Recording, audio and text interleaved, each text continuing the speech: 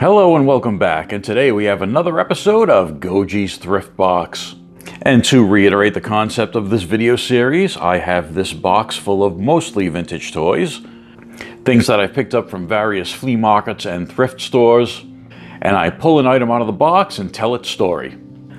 So let's see what we've got today.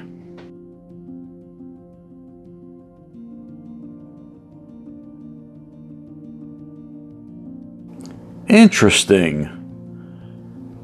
Let's talk about this bear. Back in the 1970s and 80s, there was a toy maker called HG Toys. I wasn't able to find a great deal of information about this company. I do know it was founded by a gentleman named Steve Lebensfeld. Mr. Lebensfeld's father was a toy manufacturer in New York, and as a result, he had an enduring love for both toys and the business of making them. Before he was 20, Lebensfeld had designed his first toy, an indoor basketball hoop that hung on the back of a door. Many of us have seen this toy over the years. He eventually founded the business HG Toys based in Hong Kong. In 1987, Lebensfeld also co founded the company Toy Biz, which is a company I'm sure most of us have heard of. After he sold Toy Biz, he went on to found a third toy company called Toymax which had great success throughout the 1990s. As far as I can tell, Toymax was purchased by Jakks Pacific in the early 2000s. HG Toys started out primarily as a maker of jigsaw puzzles. Some of the earliest jigsaw puzzles I remember having as a child were these fairy tale based puzzles that were made by HG.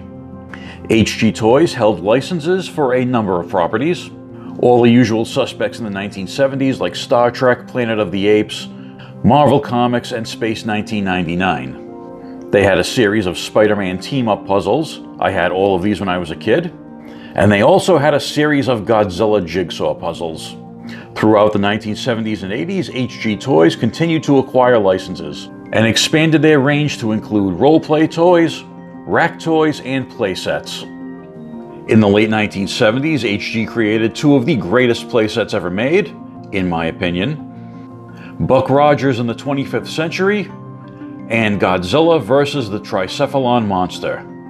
They also acquired the license to the movie Alien in 1979 and released a number of products to tie in with the film. The most famous alien toy from that time is, of course, Kenner's so called Big Chap figure, but there were other toy companies like HG marketing products to kids that were based on that R rated movie. Into the 1980s, HG continued acquiring licenses for many of the popular properties of the day, such as these He Man and Skeletor banks from Masters of the Universe, items from Voltron, and this Transformers Decepto Pack, which was a role play and dress up set. Around 1987, HG took the step into action figures, creating two ranges of prehistoric creatures. There was the Dinosaur Warrior series, for which they created four different dinosaur action figures a T Rex, Stegosaurus, Brontosaurus, and Triceratops, and paired them with a couple of cavemen. They also had a miniature range of the Dinosaur Warriors, which were smaller PVC style figures. Then there was the Mammoth Warrior series, which paired those same cavemen figures with a saber-toothed tiger, a woolly mammoth, and a cave bear. And that brings us to this handsome fella. This is the HG Toys Mammoth Warrior Cave Bear action figure. He stands about 8 inches tall. He has a movable head and movable limbs. And you can see he is sculpted to stand upright rather than on all fours. The head is made of a harder ABS plastic, while the rest of the body is made of a softer PVC style plastic. The head is a harder plastic to accommodate this action feature. With the lever on his head, you can move his jaw up and down. Not that much, but it moves. There was a little surge in popularity of dinosaur toys in the late 80s, like Tyco's Dino Riders and the dinosaurs that appeared in the Masters of the Universe toy line. There were also toy makers like Imperial, continuing to make generic dinosaur toys. And while the Imperial toys were solid with no articulation, HG Toys went a step further and created their generic dinosaurs and prehistoric creatures as action figures. Let's do some comparisons. Here's the cave bear with the saber-toothed tiger from Imperial Toys. Here he is with the giant ground sloth from the Dino Riders line. And in case you missed it, there was a thrift box video featuring this ground sloth.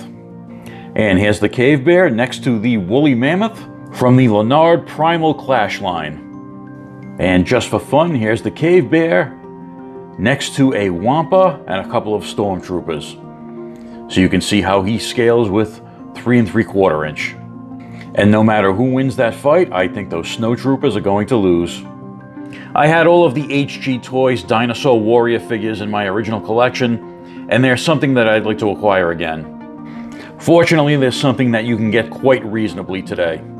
They weren't at all scientifically accurate, but they were a great throwback to dinosaur movies and cartoons and comic books from the 1960s and 70s.